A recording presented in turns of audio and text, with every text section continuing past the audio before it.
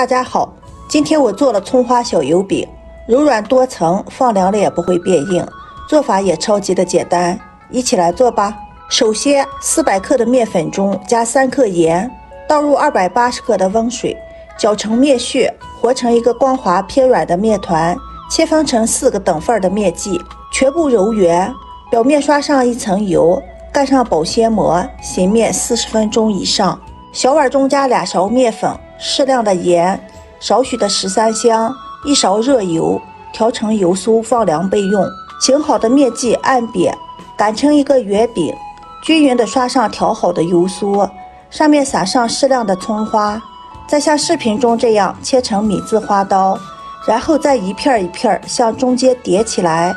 最后用这块大的包裹起来，整理圆润，松弛十分钟，再擀成一个圆饼。电饼层预热刷油，放入饼，表面刷上一层油，锁住水分，盖上盖子烙饼，烙至一面上色翻面，烙至两面上色熟透出锅。这个饼特别的柔软好吃，层次分明，就是放凉了也不会变硬。如果你喜欢吃饼，一定要试试这个方法。喜欢就关注我吧，谢谢支持。